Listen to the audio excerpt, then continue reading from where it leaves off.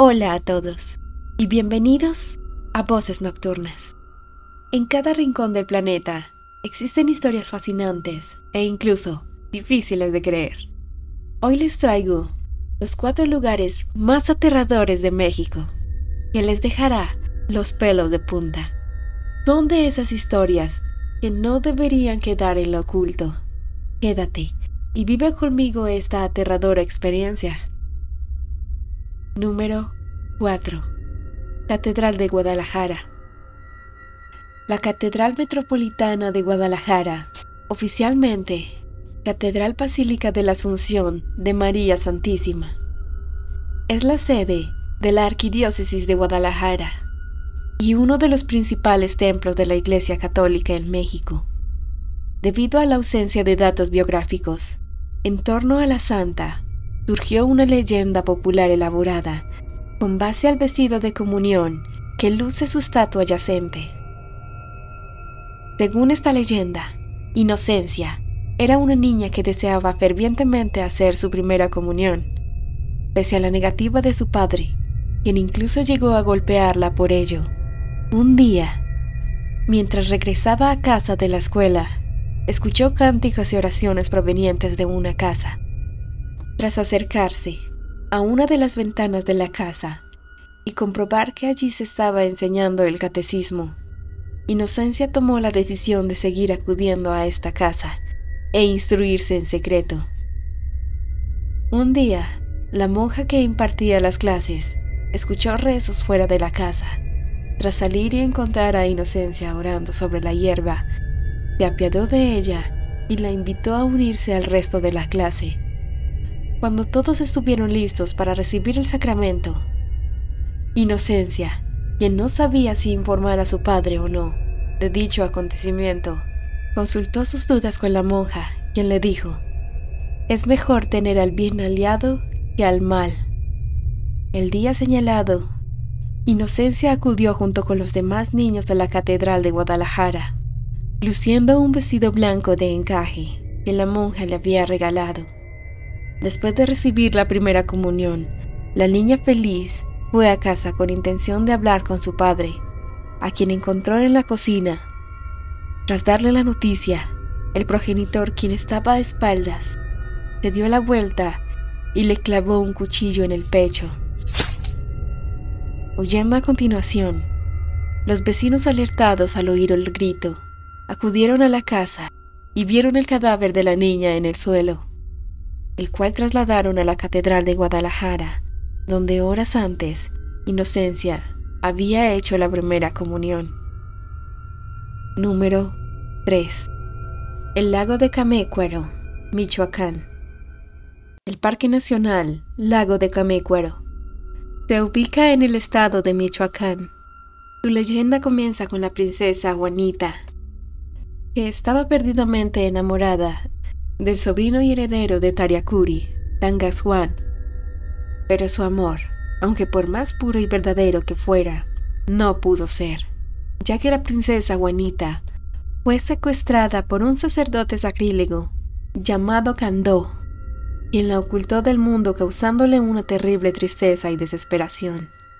Dice que la princesa lloró incesantemente y que con sus lágrimas se empezó a formar el lago Camécuaro. El nombre de Camécuaro significa lugar de amargura oculta. Su amado no se quedó de brazos cruzados y emprendió la búsqueda de Juanita. Se sabía que ella estaba secuestrada en una pirámide llamada Yakata.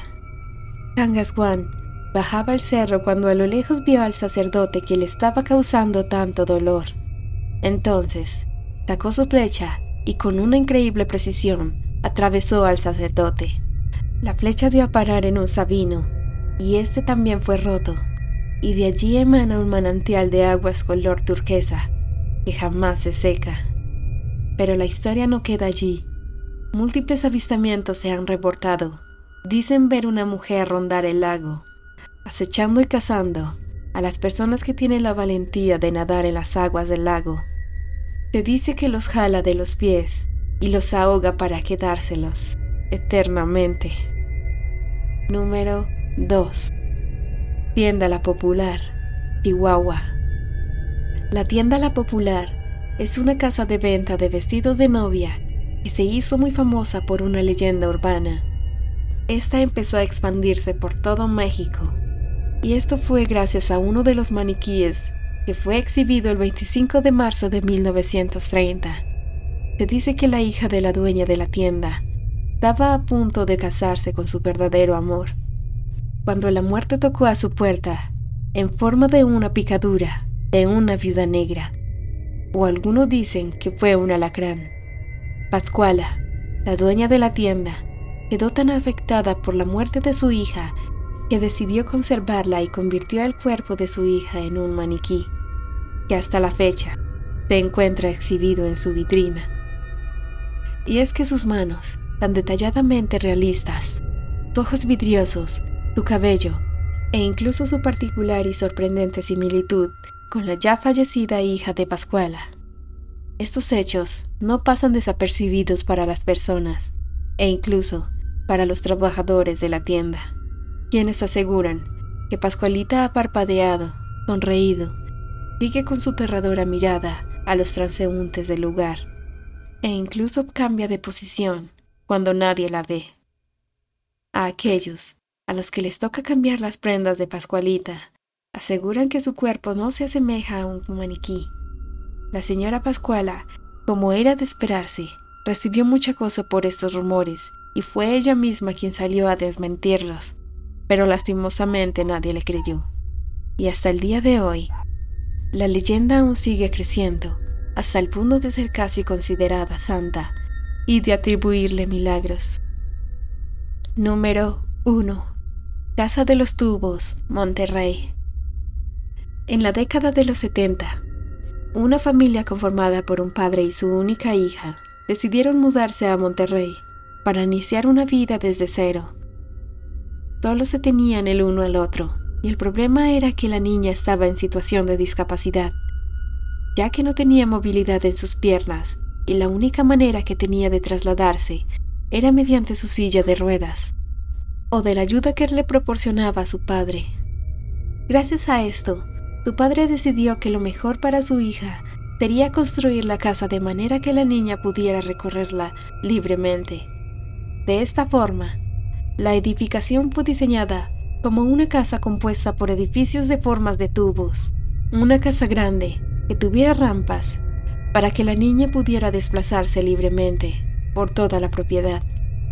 El padre entusiasmado dio el visto bueno y pusieron marcha a la construcción.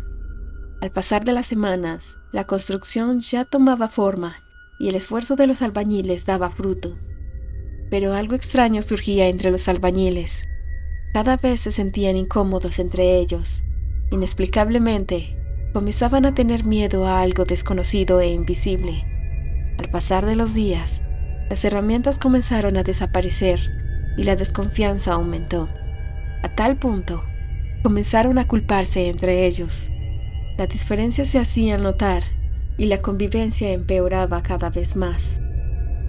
Optaron por hacer una reunión para limar las asperezas, pero lejos de eso, la mayoría de ellos lo único que hizo fue emborracharse hasta perder la conciencia. Al día siguiente, solo se presentaron a trabajar tres albañiles. El más reservado tomó el liderazgo y le dijo a los otros dos que trabajaran en la planta de abajo, mientras él se encargaba de la planta de arriba. Sin ningún problema, estuvieron de acuerdo y empezaron su trabajo, como de costumbre, pero esa tranquilidad rápidamente se vio interrumpida por un espeluznante grito.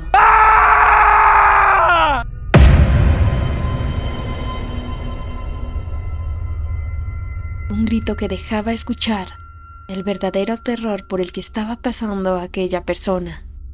Los dos albañiles de la primera planta se quedaron paralizados y reconocieron de dónde y de quién provenían aquellos gritos, y era de su compañero de la segunda planta.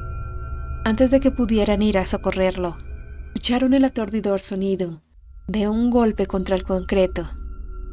Los dos albañiles fueron rápidamente a mirar se encontraron con una escena de película de terror, pues en el suelo yacía sin vida su compañero, con una expresión en su cara de verdadero horror. como si antes de morir hubiese visto al mismísimo demonio. Lastimosamente, esta no fue la única muerte que se presentó en el lugar. Tiempo después, otro de los albañiles cayó misteriosamente por una ventana, con la diferencia de que antes de morir, sus compañeros escucharon sus últimas palabras, y ésta los dejó a todos con la sangre helada. No quiere que estemos aquí, fue lo que se le escuchó gritar a aquel desafortunado hombre. Luego de esto, muchos hombres renunciaron, pero el padre no quería dejar a medias la construcción y decidió llevar a su hija para subirle y al mismo tiempo subirse el ánimo a sí mismo. No pasó mucho tiempo para que la pequeña niña desapareciera de la vista de su padre, e inexplicablemente logró llegar hasta el último piso de la casa. Su padre la buscaba, y entre la desesperación y miedo, logró escuchar lo que tanto temía, el ruido de metal y del cuerpo de su hija caer al suelo de concreto de la primera planta. Su única compañía yacía muerta en aquella casa que mandó a construir con tanto amor para ella. Luego de eso, nadie quiso volver a aquella propiedad. Solo el padre, que se emborrachaba detrás de aquellas tubulares estructuras y que después de no soportar tanto dolor, se quitó la vida. La propiedad fue abandonada y fue destino de múltiples personas que llegaban a quitarse la vida. Hasta que en el 2016 fue demolida y convertida en un condominio. Espero que te haya gustado estos aterradores lugares ubicados en México. Déjame saber si tú los visitarías. Si deseas compartir relatos, videos o fotos que les haya ocurrido a ustedes o a alguno de los suyos, puedes hacerlo a través del siguiente correo electrónico. No olvides suscribirte. Nosotros somos Voces Nocturnas y nos vemos en un próximo video. Adiós.